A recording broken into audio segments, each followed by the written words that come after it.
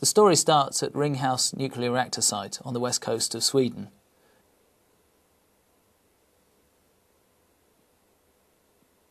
We were working beneath reactor number one.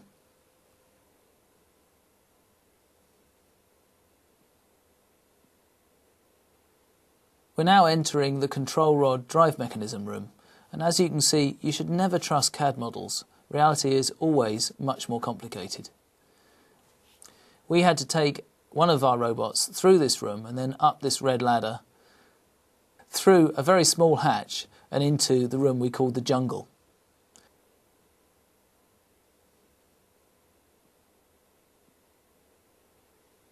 You can see there's really very little space to move around.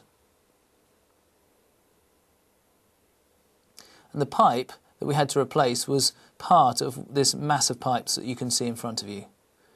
And the reason for needing the robots was that access to that pipe was down this narrow 80mm wide corridor, round avoiding these pipes and then down. And that's a picture of the real leak in the reactor.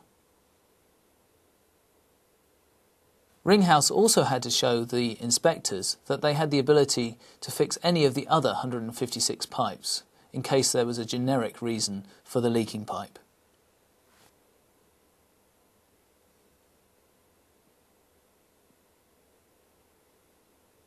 The approach that we took was to provide one snake which came up through a hole in the floor and reached round the back of these large pipes to get cameras to get a view of the worksite. We had a second arm which delivered all the tools. The cutting and the welding was done from within inside the pipe.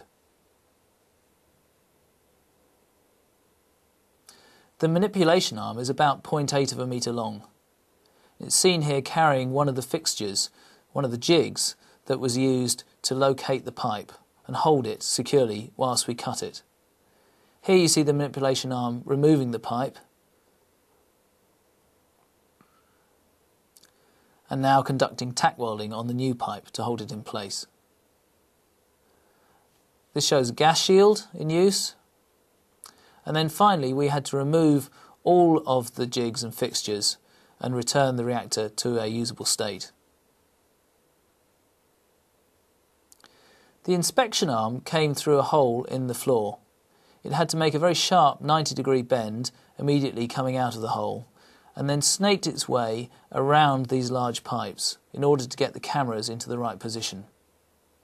Here you can see the structure of the arm as well with the wires and the segments.